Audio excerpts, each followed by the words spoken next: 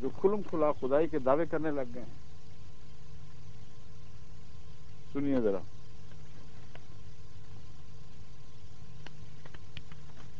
कहते हैं, मुसलमानों का कादियानियों से रियायती सलूक।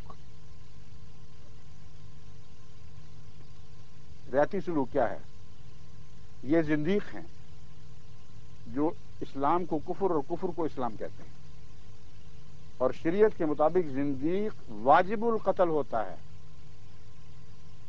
यानी शरीयत मोहम्मदिया का जो खुदा ने बनाई पर फैसला है कि ज़िंदगी को ज़रूर कत्ल किया जाए। ये कादियानियों के साथ हमारी रियायत है कि इनको ज़िंदा रहने का हक दे बड़े जाहिल आदमी खुदा की किस्म बड़े जाहिल एक बात कहकर खुद उसे झुटला दिया अगर शरीयत इस्लामिया ने जिन, जिनको तुम ज़िंदगी समझ रहे हो उनके कत्ल का फतवा जारी फरमाया और उसको फ़र्ज़ कर दिया तो तुम होते कौन हो क्यों रियायत करो? तुम खुदा हो? शरीयत बदला दोगे?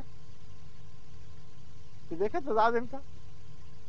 यानी अपनी बात चलाकियाँ करनी ही करनी है भूल जाते हैं कि हमारा झूठ सरे बाज़ार निकलेगा और दुनिया उसको देख देख के तुम्हारे खिलाफ दुहाइयाँ देगी कि क्या बात कर रहा हो। सुना ही फिक्रा आपने जसवाल साहब? ये जिंदीक हैं जो इस्लाम को कुफर और कुफर को इस्लाम कहते हैं। और शरीयत के मुताबिक जिंदीक वाजिबुल कत्ल होता है। ये कादियानियों के साथ हमारी रियायत है कि ज़िंदा रहने का दे दिया शरीयत की जाए ऐसी तैसी कर दी हमने। जय शरीयत भाड़ में हम जो हैं फैसले करने वाले। चलो ज़िंदा रहने ये मौलवी है, यूसुफ साहब। कहाँ से हक लिया? हमें कहते हैं तुम्हें किसने हक दिया खुदा के कौल को बदलने का तुम्हें किसने हक दिया? ये तो बताओ मुझे। और ज़िंदगी की बात करते हो तो फिर खुद किसने को नहीं करते? इसलिए नहीं, हमसे रियायत कर रहे कि अपने से भी रियायत मत मकसूद है।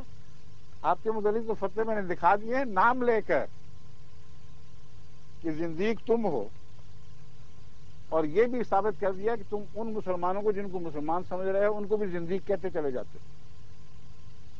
तुम्हारे सारे फिरके के मुतालिक ज़िंदगी होना दिखा दिया किताबों से।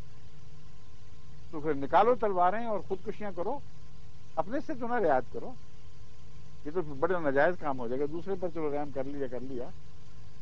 खुद खुदकुशियाँ को नहीं कर लेते। इस कदर जाहिल कौन है कि असाब टूट जाते हैं इनका ज़िक्र छेड़ते हुए भी। लेकिन दुनिया को बताना है बेचारे बिल्कुल ही सादा है हमारे। अक्सर शरीफ हैं, इनकी बातों में नहीं आते। जो मौलवी हमें पता ही मौलवी जो होता है। और दिन ब दिन ये समझते हैं कि हमने खुदा के हुक्म का हक पूरा कर दिया।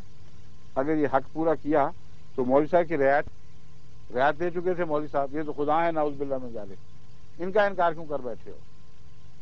तुम्हारे पीर, तुम्हारे मुर्शद रियायतें देते फिरते हैं और तुम तलवारें लेकर एमनियों को कतल पर निकलते हो। ये कौन सी शराफत है फिर? ये सारा झूठ है, धोखाबाजी, आपस में तजाद, इसके सिवा और कुछ भी नहीं है। और ये जो कहते हैं कि इस्लाम को कुफर और कुफर को इस्लाम कहते हैं, ये तो आप कर रहे हैं। हम कलमा पढ़ते हैं, कहते हैं कुफर है। इसने कुफर बका इसकी सजा दो, इसको कत्ल करो, क्योंकि इसने कुफर बका कुफर पता क्या बकते हैं? ला इलाहा इल्लल्लाह मोहम्मद रसूल कि ज़ुबान से दिल ने कुफर बका दिल के कुफर का तो किसका पता? ज़ुबान का कुफर ये है, ला इलाहा इल्लल्लाह मोहम्मद रसूलुल्लाह। कहते हैं, इसने कुफर बका कलेमे को कुफर किसने करा दिया? बदबक तो तुमने किया किसी शरीफ रस मुसलमान को ज़रूरत नहीं होनी चाहिए कि कोई कलमा पढ़े और कोई कहे, तुम कुफर बक रहे हो।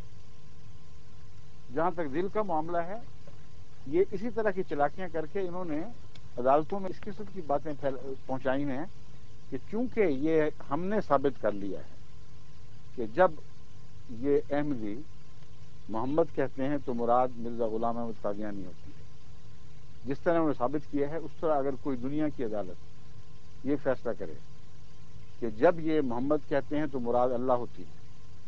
ये जब अल्लाह कहते हैं तो मुराद मोहम्मद होती है। तो तुम क्या जवाब दोगे? वो दिखाएँगे ना तुम्हें वो आयतें। क्या जवाब दोगे? कोई कहे कि हम ये बर्दाश्त नहीं कर सकते। अल्लाह जब कहें तो ये मुराद इनकी मोहम्मद होती है। इसी किस्म की दलील बनाई हुई है झूठी। और वाक्य यह है कि इस कदर धोखा देते हैं पाकिस्तान में इंसाफ का तस्वुर ही मिट गया है। अदलिया का एक बुनियादी कानून है, तमाम दुनिया में वो बुनियादी कानून है। इस वजह से कोई नहीं पकड़ा जाता कि उसके फिरके या किसी बुज़ुर्ग ने कोई बात कही हो। जब तक शख्सी तौर पर उसकी जुर्म का इकरार न करे या जुर्म उस पर साबित ना हो जाए। पर जब किसी अहमदी को किसी मजिस्ट्रेट या किसी की अदालत में ले जाया जाता है, अगर उसमें इंसाफ है, जर्रा भी तो उसको ये बुनियादी असूल तर्क नहीं करना चाहिए उससे पूछना चाहिए। मौलवी कहते हैं अहमदियों का ये अकीदा है। और अगर ये अकीदा है तो ये वाकई मेरे नज़दीक कुफर है। तुम बताओ अब, क्या तुम अहमदी हो कि हाँ मैं अहमदी क्या तुम्हारा ये अकीदा है?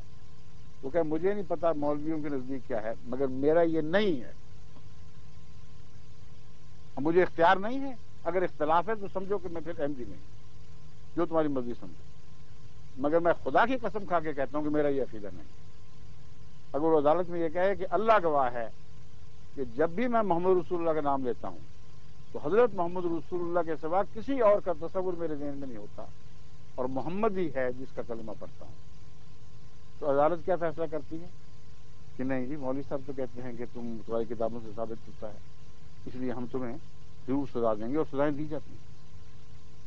इस अदलिया को, को क्या करे?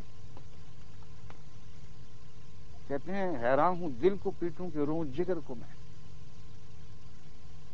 किसको मौलवी का शिकवा करे कि इन, इन, इन अदालत की कुर्सियों पर बैठने वालों को शिकवा करे? तुम कम से कम पूछते लिया करो।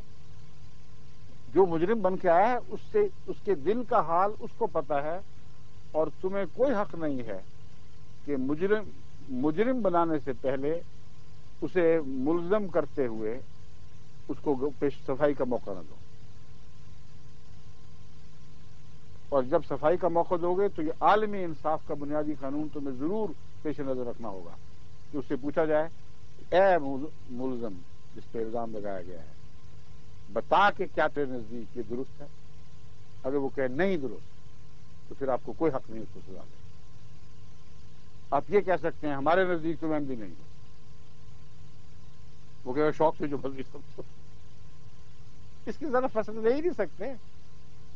कि हमने चूँकि फैसला कर लिया कि अहमदियत में ये ज़रूर है, तुम ये कहो बस कि अच्छा फिर हमारे नज़दीक तुम अहमदी नहीं हो। और हमारे नज़दीक तुम मुसलमान हो।